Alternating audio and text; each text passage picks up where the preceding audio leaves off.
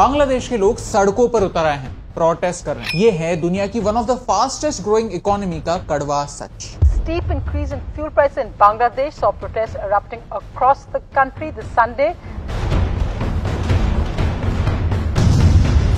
श्रीलंका पूरी तरह बैंक हो चुका है। पाकिस्तान अपने लोगों को चाय पीने नहीं दे रहा क्योंकि उनके पास चाय इंपोर्ट करने के लिए पैसे नहीं है। और अब बांग्लादेश भी आईएमएफ का दरवाज़ा खटखटा रहा है। आज हम इस वीडियो में जानेंगे कि बांग्लादेश में इकोनॉमिक क्राइसिस क्यों आने वाला है। और भारत को इससे क्या लेसन सीखने चाहिए ताकि हम ऐसी सिचुएशन को अवॉइड कर सके? आपका टाइम वैल्यूएबल है, इसीलिए यह है सारे चैप्टर्स बट सिचुएशन को पूरी तरह से समझने के लिए इस वीडियो को एंड तक देखिए और अगर आपको ये वीडियो अच्छा लगा तो अपने दोस्तों के साथ शेयर कीजिए। वीडियो शुरू करने से पहले एक डिस्क्लेमर बांग्लादेश हमारा नेबर है और हमें वहाँ की सिचुएशन समझने की ज़रूरत है। इस वीडियो में हम कहीं भी उनके बुरे हाल के लिए खुशी नहीं जता रहे, लेकिन कुछ पॉइंट समझने की एनालाइज करने की कोशिश कर रहे हैं। तो अगर आप बांग्लादेश से हैं तो let me make it clear this video is not to insult you और your country it is to study understand and learn chapter one Bangladesh का आज का हाल ये है बांग्लादेश दुनिया की फास्टेस्ट ग्रोइंग इकोनॉमीज में से एक. सिर्फ़ छह महीने पहले की बात है, पूरी दुनिया बांग्लादेश की तारीफ़ कर रही थी. वर्ल्ड बैंक ने बांग्लादेश को एक मॉडल फॉर पॉवर्टी रिडक्शन कहा. बड़े बड़े एक्सपर्ट्स मानते हैं कि 2041 तक बांग्लादेश एक डेवलप्ड देश बन जाएगा. And you know what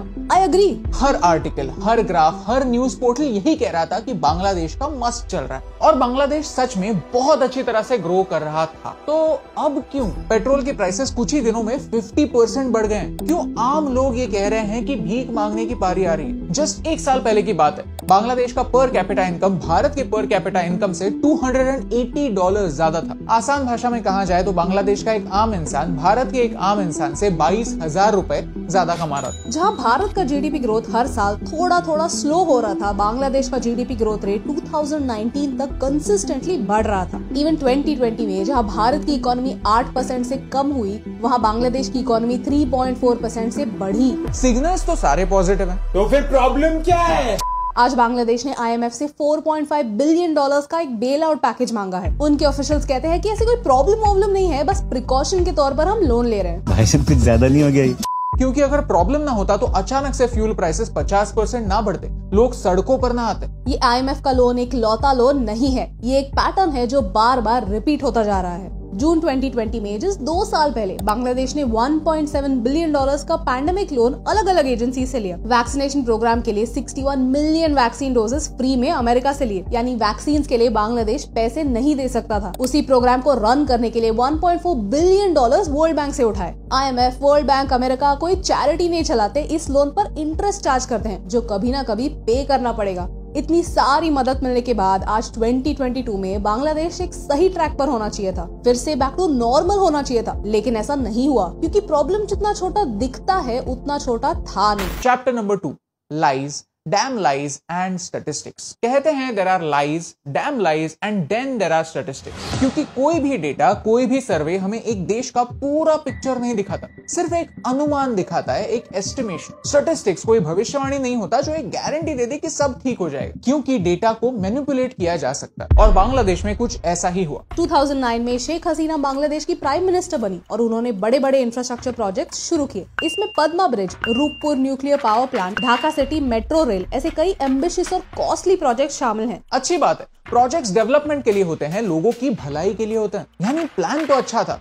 लेकिन एग्जीक्यूशन पद्मा ब्रिज जिसकी कॉस्ट 1.16 बिलियन डॉलर्स होने वाली थी वो बनते बनते कॉस्ट डबल से भी ज़्यादा 3.6 बिलियन हो गई। ये same pattern metro rail under water Karnaphuli tunnel में भी दिखता है। करप्शन की वजह से डीलेज की वजह से कॉस्ट बढ़ते ही चले गए और इसका बिल लोगों को पे करना पड़ा। प्लस कई बड़े बड़े स्कैम सामने आए। एक हज़ार करोड़ से लेकर दस हज़ार करोड़ तक। लोग स्कैम करके बैंक से लोन लेकर भाग गए। इन टोटल सेंट्रल बैंक ने 11 बिलियन डॉलर्स के बैड लोन्स रिपोर्ट किए। आईएमएफ मानता है कि ये नंबर झूठ है। उनका सेंट्रल बैंक ही झूठ बोल रहा है। एक्चुअल नंबर इस आंकड़े के डबल से भी ज़्यादा है। चैप्टर थ्री बिजली का बिल कौन भरेगा? किसी भी देश को डेवलप करना है तो इंडस्ट्रीज़ लगेंगी। अगर इंडस्ट्रीज़ चाहिए तो चीप और रिलायबल इलेक्ट्रिसिटी लगेगी और चीप इलेक्ट्रिसिटी प्रोवाइड करने में बांग्लादेश ने काफ़ी सक्सेस पाई मार्च 2022 में सरकार ने डिक्लेयर किया कि पूरे देश में इलेक्ट्रिसिटी पहुँच गई है। और ये सारी इलेक्ट्रिसिटी जो सस्ते में इंडस्ट्रीज़ तक पहुँच रही थी बांग्लादेश की ग्रोथ को बढ़ावा दे रही थी वो कैसे बन रही थी? नेचुरल गैस से अब शुरू हुआ प्रॉब्लम रशिया यूक्रेन वॉर की वजह से नेचुरल गैस का पूरी दुनिया में शॉर्टेज होने लगा। और बांग्लादेश जो आज भी अपनी 63% इलेक्ट्रिसिटी नेचुरल गैस से बना रहा है, उसे इसका बहुत बड़ा फटका पड़ा। 2010 से लेकर 2011 तक पावर सेक्टर को बहुत ज़्यादा सब्सिडीज मिले, ताकि इलेक्ट्रिसिटी प्रोडक्शन बढ़े और लोगों को चीप इलेक्ट्रिसिटी मिले। इन 11 सालों में पावर कंपनीज़ पर सरकार ने 7.1 बिलियन डॉलर्स खर्च किए। नया इंफ्रास्ट्रक्चर खड़ा करना महँगा होता है तो बांग्लादेश ने एक बैंड एड की तरह टेम्पररी और क्विक सोल्यूशंस ढूंढना स्टार्ट किया, जैसे Q R quick rental power plants जहाँ प्राइवेट कंपनीज़ अपना इंफ्रास्ट्रक्चर देकर देश की इलेक्ट्रिसिटी प्रोड्यूस करने की कैपेसिटी बढ़ाती है। कोविड की वजह से अचानक से डिमांड कम हो गई। लेकिन कॉन्ट्रैक्ट में ऐसा लिखा गया था कि सिर्फ़ ये एक्स्ट्रा कैपेसिटी प्रोवाइड करने के लिए भी उन कंपनीज़ को पेमेंट करना ही होगा। ऐसी कंपनीज़ में एक इंडियन कंपनी का भी नाम शामिल है। अडानी। अडानी को 25 साल के लिए Bangladesh in total 11 billion dollars pay करने वाला है। सिर्फ़ उनकी फैसिलिटीज़ प्रोवाइड करने के लिए। फिर चाहे बांग्लादेश उसे यूज़ करे या ना करे, बांग्लादेश की ट्रिमेंडस प्रोग्रेस ऐसे काफ़ी रिस्की डिसीज़न के बेसिस पर थी। जो अगर कोविड ना होता रशिया यूक्रेन क्राइसिस ना होता तो बहुत अच्छे रिज़ल्ट दे सकता था। लेकिन ऐसा हुआ नहीं। चैप्टर फोर जब स्ट्रेंथ ही वीकनेस बन जाता है। बांग्लादेश की इकोनॉमी एक एक्सपोर्ट ओरिएंटेड इकोनॉमी है और इस एक्सपोर्ट फोकस ने उन्हें बहुत अच्छे रिजल्ट्स दिए हैं। 30.4 percent of the women in Bangladesh participate in the labour force जिसका मतलब ये है कि ये औरतें एक्चुअली इकोनॉमी को आगे लेके जाती हैं। This is the biggest achievement of Bangladesh that we need to learn from और वो इंडस्ट्री जिसने इन महिलाओं को रोज़गार दिया वो है टेक्सटाइल बांग्लादेश आज एक टेक्सटाइल पावर हाउस है। उनके एक्सपोर्ट का एटी परसेंट टेक्सटाइल एक्सपोर्ट है. Majority of this is sold to fashion houses in Europe लेकिन कोविड और रशिया यूक्रेन वॉर की वजह से यूरोप में रिसेशन के लक्षण दिख रहे हैं. रिसेशन का मतलब यह है कि लोग खर्चे कम करेंगे specially for things like clothes Europe के क्लोथिंग ब्रांड्स एक्सक्लूसिविटी बनाने के लिए नया इन्वेंट्री कंटिन्यूसली ऑर्डर करते रहते हैं और अनसोल्ड इन्वेंट्री पीरियोडिकली डिस्ट्रॉय करते रहते हैं. फास्ट फ़ैशन का ये अगली चेहरा हम एक और वीडियो में दिखाएँगे. लेकिन इस साइकिल की वजह से बांग्लादेश के लिए टेक्सटाइल ऑर्डर्स ऑलमोस्ट गारंटीड ही थे. उनके लिए 15 परसेंट ग्रोथ रेट भी स्लो ग्रोथ रेट था। नेचुरल गैस के बढ़ते दामों की वजह से टेक्सटाइल फैक्ट्रीज में पावर कट्स होना शुरू हुआ और ऑर्डर्स डिले होने लगे। इस टेक्सटाइल्स के परफेक्ट स्टॉप में एक और ट्विस्ट है। बांग्लादेश लीस्ट डेवलप्ड कंट्रीज़ और एलडीसी के कैटेगरी में आता है। और डब्ल्यूटीओ के रूल्स के अनुसार डेवलप्ड देशों को एलडीसी को स्पेशल बेनिफिट देने पड़ते हैं। These are called generalised system of preferences और जीएसपी इस स्कीम के अंतर्गत बांग्लादेश के टेक्सटाइल्स पर कोई ड्यूटी नहीं लगती। कन्वर्सली भारत के टेक्सटाइल्स पर 6.5 परसेंट की ड्यूटी लगती है। बांग्लादेश में इकोनॉमिक डेवलपमेंट हो रहा है। इसलिए बांग्लादेश इस एलडीसी के कैटेगरी से ग्रेजुएट होने वाला है। यानी बांग्लादेश को मिलने वाले ये बेनिफिट्स अब नहीं मिलेंगे। चैप्टर फाइव तो भारत इससे क्या सीख सकता है? लेसन वन हमें लोन्स को कंट्रोल करना होगा। आरबीआई ने ऐसे पाँच स्टेट्स के नाम दिए हैं जिनका डेट देश के लिए डेंजर पैदा कर सकता है। प्रॉब्लम ये है कि इन स्टेट्स में इलेक्शन के समय फ्रीबीज और सब्सिडीज दी जाती हैं। एक्चुअली सारे स्टेट्स फ्रीबीज देते हैं। लेकिन प्रॉब्लम ये है कि कुछ स्टेट्स के पास इन फ्रीबीज को पे करने के लिए पैसा ही नहीं होता। Lesson to